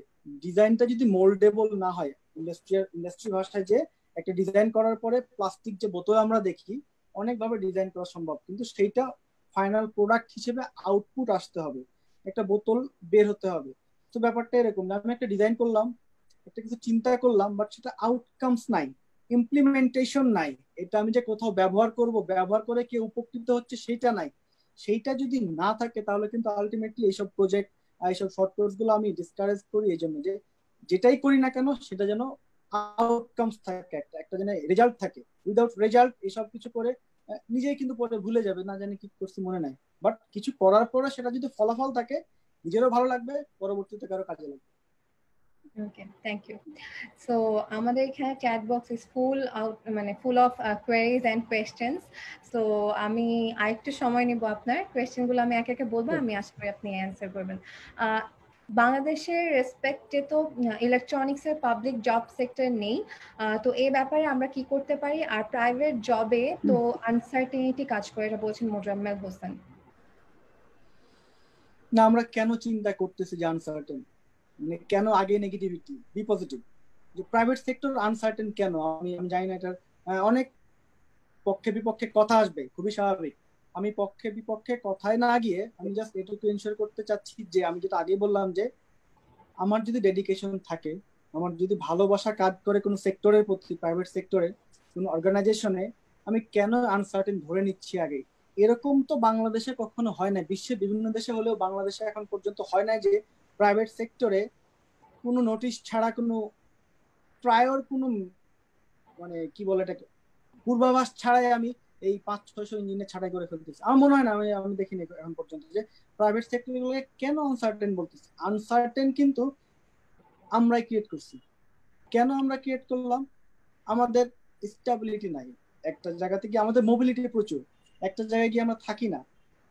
তিন মাস, ছয় মাস পরে সুইচ করি। ভালো লাগে সুইচ করতে। আমি অনেক শুনছি যে আমার তো সুইচ করতে ভালো লাগে সুইচ না করলে ইনক্রিমেন্ট হয় না। দিস ইজ নট ফেয়ার তো আমার চিন্তাই হচ্ছে আমি বেশি দিন থাকব না। আমি নিজেই যেখানে চিন্তা করতেছি নেগেটিভিটি নিয়ে আমি এই জায়গায় বেশি দিন থাকব না আর এক জায়গায় আমি চলে যাব। তো আমার মধ্যে কেন আনসার্টেনিটি কাজ করবে? সার্টেন থিংস আমি আগে চিন্তা করে নিই যে, আমি এই ইফোর্টটা দিব। এই জায়গাতে আমি এই ইফোর্টটা দিব। ইফোর্ট দেওয়ার পরে হার্ডওয়ার্ক দেওয়ার পরে যদি কি না কোনো প্রবলেম হয় then I think we should talk about this topic যে আনসার্টেনিটি নিয়ে আগেই আমরা চিন্তা না করি। আগে আমার ইফোর্টটা আমি দেই। ইফোর্টটা দিয়ে দেখি কি হয়। তারপরে না হলে নয় চিন্তা করি। সরকারি বেসরকারি জব সেক্টর বলে যে বিতর্ক, এই বিতর্কে আমি কখনো যেতে চাই না। একটা, সবাই যদি সরকারি জব করে, সবাই যদি পাবলিকে চলে যায় প্রাইভেট সেক্টর কি হবে? ইন্ডাস্ট্রিগুলোর কি হবে? পাবলিকলি তো ইন্ডাস্ট্রি এত গ্রো করে নাই, হয়তো অদূর ভবিষ্যতে করবে। তো দেশটাকে তো ব্যালেন্স করতে হবে। সবাই যদি একটা দিকে মুখ করি, আমি যদি পাল্লা চিন্তা করতে যাই নীতি চিন্তা করে নীতিত্ব একদম হয়ে যাবে। এটা ঠিক থাকবে না আলটিমেটলি ইঞ্জিনিয়ারিং, ইঞ্জিনিয়ার পাস করার পরে নিজেদেরকে ভাববে যে আসলে আমরা তাহলে করিটা কি? একটা মানে ডিলেমার মধ্যে কনফিউশনে থাকবে যে কোনটাতে যাওয়া উচিত? যারা প্রাইভেট সেক্টরে মুভ করতে চাচ্ছে, তাদের মতো সুযোগ সুবিধা নিয়ে যাচ্ছে, যাক পাবলিকে যাচ্ছে, যাক, সবকিছু মিলে দেশের যেই ইকোনমিক্যাল অবস্থা জব সেক্টরের যেই ব্যালেন্সিং সিচুয়েশন এটা অটোমেটিক্যালি একটা ইকোসিস্টেমের মতো সো কোনোটাকে আনসার্টেন বলা যাবে না। ইভেন পাবলিক সার্ভিসকে ছোট করা যাবে না বা প্রাইভেট সেক্টরকেও ছোট করা যাবে না। প্রত্যেকটা সেক্টরই যে যেখানে জব করবেন, সম্মান দিয়ে করবেন, নিজের হাইয়েস্ট টু হান্ড্রেড পার্সেন্ট দিয়ে করবেন। Okay, thank you so much. So, um, Tahamin Mahmood uh, from IEEE uh, Back University অনেক ভালো একটা কোয়েশ্চেন করেছে যেটা কিনা নিয়ে যেটা নিয়ে আমরা অলরেডি অলমোস্ট 20 minutes একটা conversation হয়ে গিয়েছে যে why should we uh, stay in Bangladesh and uh, she is also mentioning that um, sir do you think we should consider staying in Bangladesh after bachelor there is not even sufficient innovation lab uh, uh, for students. Are you uh, affi- um, affiliated with any public engine uh, public public engineering or private university? Are you providing any internships for undergrad electrical engineering students? I guess not. This is why there is an um, empathy moving um, empathy among electronics measures for seeking government and private jobs in uh, inside bangladesh over sitting for gre and TOEFL Uh, so um, Tahamin Mahmood, I guess sir has explained the fact that কেন আমাদের দেশে থাকা উচিত and আপনি যদি লাইভটা আমাদের গ্রুপে শেয়ার করা হচ্ছে so সেখানে যদি দেখেন আসলে he has mentioned the cons and pros so it's up to you what you want to choose and yes we uh, consider the fact that we are lacking be behind and we we don't have a lot of um, uh, resources but uh, as we are working together they are also providing us um, some opportunities and we have to uh, we all also have to look for the opportunities so uh, sir the question is do you guys offering any kind of internship for the fresh graduates thing is আমাদের প্রোডাক্টগুলো খুব sensitive আমাদের আর আমরা খুব sensitive আকারে রাখি যে আসলে খুবই স্বাভাবিক। আমি যদি আদার সেক্টর ব্র্যান্ডের কথা বলি তার যদি আমি প্রসেসটা জানতে চাই তার ম্যানুফ্যাকচারিং প্রসেস জানতে চাই কোনো সফট কোম্পানির বা কোনো হার্ডওয়্যার কোম্পানি যদি বলি যে আপনার এই প্রসেসের মেকানিজমটা কি? খুবই স্বাভাবিক, কেউ বলবে না। আমাদের ক্ষেত্রেও এটা ব্যতিক্রম, কিছু না। আমরা আর টাকে একটু সেন্সিটিভ রাখতে চাই। ইঞ্জিনিয়াররা সেখানে স্বাধীন বাট আমাদের টেকনোলজি আমরা খুব করি না। ইস্যু হচ্ছে যে যদি ইন্টার্ন করতে হয়, আমরা এটা নিয়ে খুব রিসেন্টলি কিছু কাজ শুরু করেছি বিভিন্ন ভার্সিটির সাথে যে ওয়ান টু ওয়ানে কিছু আমরা কন্ট্রাক্টে যাচ্ছি যে কিছু স্টুডেন্ট আমরা ফ্রেশ গ্রাজুয়েটদের নিব, তাদেরকে আমরা দেখব যে হোয়াট ইজ ইন্ডাস্ট্রি অ্যাকচুয়ালি এটা দরকার। আমি এটাকে অ্যাপ্রিসিয়েট করি। হয়তো বাংলাদেশে এর আগে হয় নাই কখনো but it's time to uh, make our students to know the practical things are working inside the factory, inside the industry.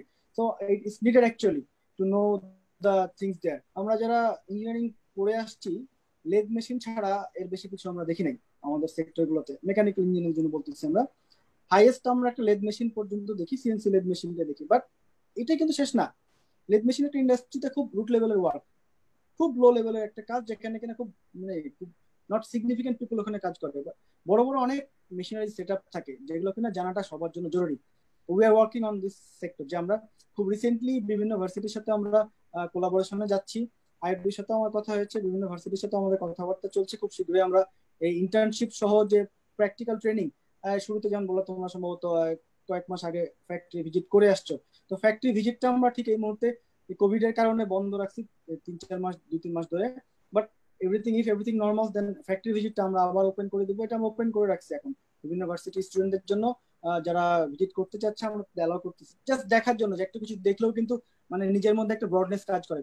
আমাদের যে ছয়শো একর ফ্যাক্টরি সাতশো একর ফ্যাক্টরি এই সেট আপটা একটা বিল্ডিং এর ছাদে গিয়ে দাঁড়ালে তখন নিজের মধ্যে একটা ফিলিংস কাজ করবে যে wow I can assure you everyone can say wow if you have gone there then you can say like this যে, বাংলাদেশে এরকম কিছু একটা হচ্ছে যে, একটা জায়গাতে গেলে তার যে ফ্লারিশনেস তার যে এক্সপানশন তার যে টেকনোলজির যে ডেভেলপমেন্ট সেটা দেখলে কিন্তু মনের মধ্যে একটা কনফিডেন্স গ্রো করবে যে, না ভালো কিছু হচ্ছে, দেশে থাকাটাই মনে হয় দরকার। এটা হচ্ছে ফ্যাক্টর আরেকটা ইস্যু হচ্ছে যে অবভিয়াসলি কিছু আমাদের অবস্টেকেল আছে, কিছু ড্রব্যাকস আছে আমাদের।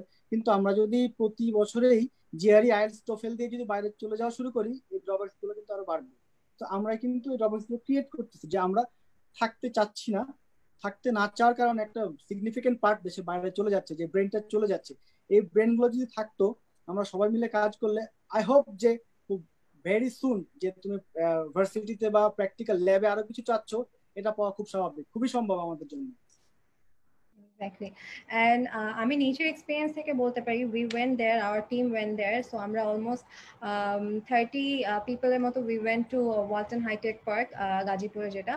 So we visited the whole place. We were tired, but they were not tired. And আমাদেরকে প্রত্যেকটা ম্যানুফ্যাকচারিং প্লেসে লাইক সেটা টিভি স্ক্রিন থেকে মানে everything what they are doing আমাদেরকে ধরে ধরে everything they describe their engineers allocated engineers were describing everything আমরা যেখানে ফ্রিজ বানানোর যে জায়গাটা আমরা সেখানে যাই। সেখানে the allocated engineer he explain how it works then বিভিন্ন ডাম ইভেন যে অবজেক্টগুলো থাকে সেগুলো আমাদেরকে দেখানো হয়। So we already visited the um, uh, mane, uh, industry and uh, they were very cooperative and they tried to make us learn whatever is possible by them so i appreciate that and we hope যে আমাদের এই সিচুয়েশনটাকে গেলে not from only IUB all the universities will get this opportunity to visit your comp uh, company and your industry as well as uh, as Tahmin was says um, saying that I also support that just uh, we should have some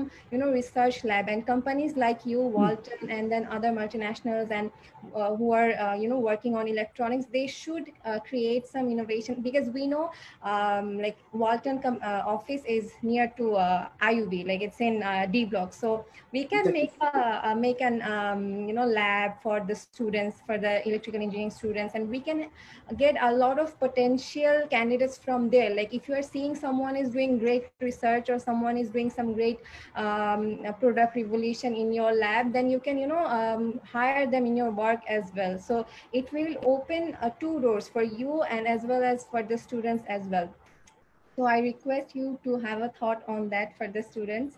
And then Leon is saying, we love our country and will always uh, do, but the problem is nepotism. Basically, it's our culture. We just can't escape it. Uh, people don't get jobs without any contacts or any lobbying. Suppose a person got good uh, or moderate CGPA, but no contacts or not good with people what should they do in a country like ours where our parliament is full of corrupted people will you please suggest a way to bear the way nepotism একটা controversial issue সেটা নিয়ে কথা না বলাই ভালো পুরো world এই টপিকটা থেকে বাইরে না নেপোটিজম খারাপ দিক ভালো দিক সব দিকই আছে খুবই স্বাভাবিক দেশের মানুষ যদি আমরা যদি এভাবে চিন্তা করি দেশের বাইরে গেলে যদি কোনো বাংলাদেশি আমাকে ভালো না বাসে, আমি কিন্তু মন খারাপ করব। আমি কিন্তু ওইখানে নেপোটিজম চাচ্ছি। আমাকে সাপোর্ট করুক, আমি চাচ্ছি। আমাকে কোঅপারেট করুক, আমাকে প্যাট্রোনাইজ করুক ইভেন আমাকে ফাইন্যান্সিয়ালি হেল্প করুক, এটা আমি চাচ্ছি। আবার যদি দেশের মধ্যে কোনো একটা কারণে যদি একটু উনিশ বিশ হয়, তখন আমি আবার খারাপ বলতেছি। ব্যাপারটা আসলে এইভাবে ওভারঅল চিন্তা করে লাভ নাই। এইটা একটা ইউ হ্যাভ সেইড আর্লিয়ার যে এটা একটা কালচার হয়ে গেছে আমাদের। হতে পারে, এটা কন্ট্রোভার্সিয়াল টপিক এটা যেটা বললাম যে, আমরাই এখন একভাবে চাচ্ছি, আর একটা জায়গায় গেলে অন্যভাবে চাচ্ছি, এটা একটা আপেক্ষিক একটা ইস্যু তো এই টপিকে আমরা না যাই, আমরা যেটি যে টপিকে থাকি যে, আমরা আসলে কি করতে চাচ্ছি, সেটা হচ্ছে বড় কথা যে, দেশের জন্য যদি কাজ করতে যাই অবভিয়াসলি আগে দেশপ্রেম থাকতে হবে। যে অর্গানাইজেশনের জন্য কাজ করব, সেই অর্গানাইজেশনের প্রতি টান থাকতে হবে। বাংলার টান যেটা বলে যে, মনের টান থাকতে হবে। টান থেকে কাজ করা, ভালোবাসা জন্মাইতে হবে। আমি যদি ভালোবাসা জন্মানোটা পর্যন্ত অপেক্ষা না করি, সেখানে সেই ইফোর্টটা না দেই অযথাই নেপোটিজমের দোহাই দিয়ে লাভ নাই। একটা পার্সেন্টেজ হয়তো বা নেপোটিজমের কারণে মুভমেন্ট হচ্ছে বাট সেটা কিন্তু মেজরিটি না। তো দুই একটা উদাহরণ দিয়ে যদি আমি টোটাল সেক্টরটাকে একটা জায়গাতে কনফাইন করে দিই I think it's not wise for us thank you sir so একজন বলছে does Walton encourage private university graduates sorry I hear মানে ওয়ালটনের ওয়ালটন কি প্রাইভেট ইউনিভার্সিটির যেসব গ্র্যাজুয়েট থাকে তাদেরকে সাপোর্ট করে নাকি? মানে সিলেকশনের ক্ষেত্রে জবে নেওয়ার ক্ষেত্রে প্রাইভেট ইউনিভার্সিটিটাকে তারা প্রেফার করে নাকি? বিকজ অনেকেই ভেবে থাকে অবভিয়াসলি যে বুয়েট আমি আমি আমি নিজে আইটি আইটি গ্র্যাজুয়েট কাফি ভাই আমার সাথে আছেন। IT is not a public sector it's a OIC control university international university so আমি নিজে আইটি স্টুডেন্ট তো আমাকে দেখে অ্যাটলিস্ট এটুকু সাহস পাওয়া উচিত যে শুধু পাবলিক ইউনিভার্সিটি না, সকল ইউনিভার্সিটিকে আমরা প্রায়োরিটাইজ করি। We love we create sorry we select the talent first of all interview বোর্ডে আমাদের খুব সিলেক্টিভ থাকতে হয়। ড্রয়িং চেক করতে হয়, তার মুভমেন্ট চেক করতে হয় ক্রিয়েটিভিটি খুবই স্বাভাবিক, একটা ইন্টারভিউ বোর্ডের পনেরো বিশ মিনিটে হান্ড্রেড পার্সেন্ট জাজ করা পসিবল হয় না। তারপরেও আমরা যে সেক্টরগুলো পার হয়ে আসছি, যে লেভেলগুলো পার হয়ে আসছি এগুলো দিয়ে আমরা জাজ করেই নেই। আমরা কোনো ভার্সিটি প্রিফার করি না। আমরা কোনো মানে ফিক্স বলে দিই না যে এই ভার্সিটির ইঞ্জিনিয়ার ছাড়া বা এই জায়গার ইঞ্জিনিয়ার ছাড়া আমরা পিক করব না। We have lots of engineers in variety university we have more than five hundred engineers তো একটা পাবলিক সেক্টর থেকে ফাইভ হান্ড্রেড ইঞ্জিনিয়ার্স পাওয়ারটা আসলে সম্ভব না। তো we have mixing engineers in our industry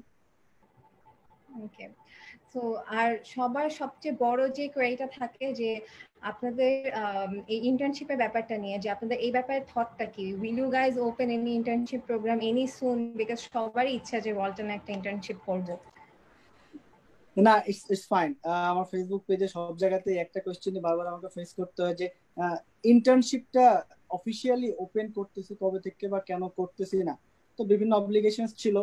যে আমাদের টেকনোলজি নিয়ে আমাদের কাজ ছিল আমাদের ডেভেলপমেন্ট নিয়ে অনেক কাজ ছিল ফ্যাক্টরি ইনফ্রাস্ট্রাকচার নিয়ে অনেক কাজ ছিল তো সবকিছু মিলায়ে আমরা নতুন পলিসির দিকে যাচ্ছি যেহেতু পাবলিক লিস্টেড কোম্পানি আমরা অনেক কমপ্লায়েন্স ইস্যু আছে এখানে উই হোপ যে আমরা খুব শীঘ্রই ইন্টার্নশিপ নিয়ে আমরা কাজ করব we are very hopeful for that just waiting for the situation be normal Okay, and we hope that we will get some uh, privilege, like when we will apply. Sure. okay.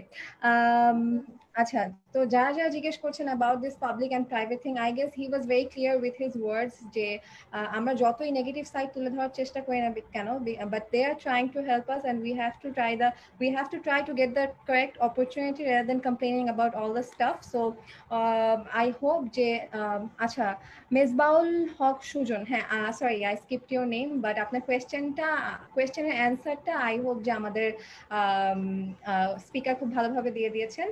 And there you go anisha with nepotism. No i'm not uh, supporting any kind of nepotism. What i felt i said okay? And um, privately i work in a private uh, radio station. I'm um, rj so i know how it works. I work with already professional people. I work in radio today. So i work in a very good uh, uh, office. So i know how to how you have to deal in private sectors. We go through a lot of things when we plan something to work with. So that's why i am supporting him not because he will give me a job uh, so i already have a job but i am আমি আমি আমি আনিশাকে একটু support করি thing is আমি শুরুতেই বলছি যে if hard work can defeat talent then obviously hard work can defeat the nepotism if it exists there যে তোমার ইফোর্ট তোমার ডেডিকেশন হার্ড ওয়ার্ক যদি ঠিক থাকে এই নেপোটিজম খুব একটা পাত্তা পাবে বলে আমি বিশ্বাস করি না work sector actually That's the thing. So um, it's like it's not like I, I had basar had some kind of uh, connections. It's very hard. When you're working in uh, in a place you have to give your 100% dedication. I worked for four years and now i'm here. And even i'm working with ieee for last four years and now i'm the chair. So it's not very easy. You you just see the outcome you know but there is years of uh, hard work uh, to come the, uh, to reach this point so that's why I'm supporting him and all the professionals who are working day and night to make our uh, life and our experiences better. So thank you so much, sir, for being with us. It was very informative. And now I'd like to request um, Dr. MB Kafil Islam, sir, to hand over a small token of appreciation to uh, our honorable guest. Thank you, Anisha, and thank you, uh, Shagar, for sharing your story and being very honest and very to the point uh, in your answers. And I mostly agree with you. Uh, yes, uh, I, I, understand from the student's point of view as well that uh, they are worried about their future career.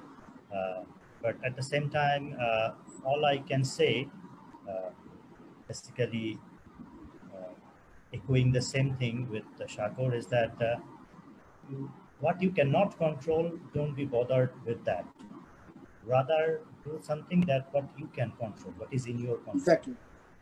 So uh, this is the third kind of uh, webinar that we are organizing. The first, uh, before two, it was about, one was in power sector, one was in IT, uh, telecom industry. Now with uh, uh, Ghulam Morshed, we are uh, conducting this electronics industry. So one thing from all these three speakers, we have found that very few things are very common that one of them is that the CGPA, uh, you know, expected CGPA is uh, at least three and above is something that is required. And then do not go immediately after your graduation if you want to work on industry, not in academia, then do not go for immediately go for master's or MBA immediately after your graduation. Rather, uh, gain some work experience, which is more than important than the academic degree. And we also have seen that all these three speakers, uh, the last two speakers, uh, they also have reached in a, in a very short uh, period of time, they have reached such a high level and none of them have actually done any masters.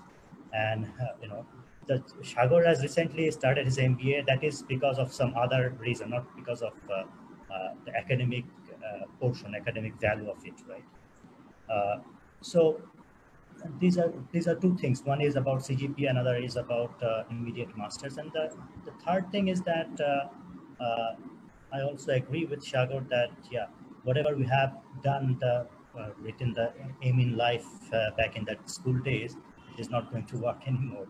So the situation is changing. Uh, you know, that time it was probably third industrial revolution. Now we are entering into the fourth industrial revolution. Everything is changing so fast. So you have to be able to adapt with the environment. You have to be uh, knowledgeable about what's going on in this industry. Or whatever uh, career path that you are choosing you should be able to know what is current situation and what will happen in next uh, five to ten years. So you have to be visionary as well. You have to think and and just uh, do not overthink about the things that you have no control over. So True. only only work on on what you can do what is in your control. And so and basically work hard work sincerely work wisely and and, you know, take uh, suggestions from the seniors from from uh, people who have already uh, uh walked down this road like these people uh, that we are uh, inviting in this kind of seminars. So again thank you very much Shagor for joining with us It was very nice thank to see you. you. Thank you so much. Uh, thank I actually you follow. Yeah, I actually follow you on on Facebook, and I, have seen that due to COVID nineteen response, whatever uh, you guys are doing is excellent. You know, collaborating with uh, a company like Medtronic.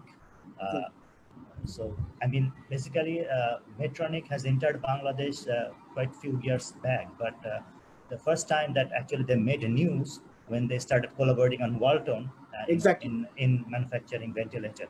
So that's a very good sign for us. Uh, and uh, next, I would like to assure the students basically because we are uh, moving towards outcome-based education, which actually the speaker has suggested that uh, you know whatever you do, you have to have some outcome. You know, back in the days when the way the type of education system that we had, it was only the input-based system. We did not measure the outcome. It was only the result, grade.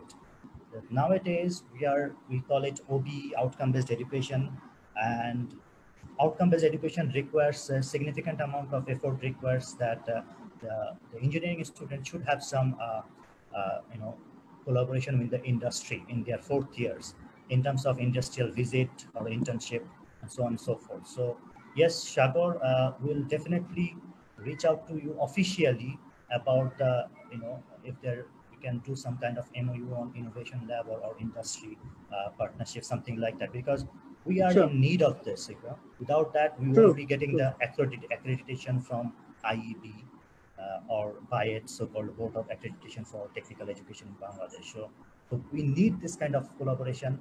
I think Bangladesh needs this kind of collaboration. We have never seen academic industry collaboration before, but this is the time, high time that we are facing that we have to do something. Uh, without this collaboration, this engineering education is going nowhere, right? Most of us uh, are not aware of what's going on in industry. Industry people, uh, you are not giving us the problem. So what we are actually uh, trying to find out the solution of problem that actually exists 10 to 20 years back and we are not up to date so that is very important that we keep up to date with the industry and therefore industry should support us and I, we should support industry as well uh, so with that uh, being said i would like to uh, present this you know virtual uh, certificate to our honorable guest uh, so let me share the screen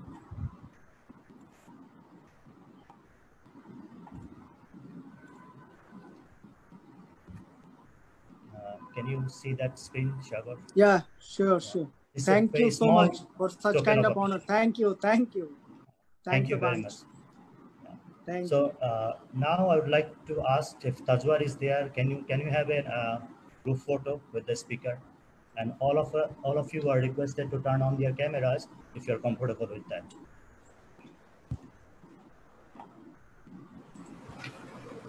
Yes. Again, a virtual group photo speakers. Done, sir. Thank, thank you. you. Thank you so much. Uh, thank you, Shagor. So we'll talk later, inshallah. Okay. And we'll approach Bye -bye. officially. Yeah, thank you. Thank you. Bye bye. Allah Hafiz. Hafiz. Thank you so much, everyone, for joining. And this is for uh, this is uh, what we had for today. I hope we uh, you all had a very interactive session. So for this, we are calling it a night. So Allah Hafiz, take care and stay home.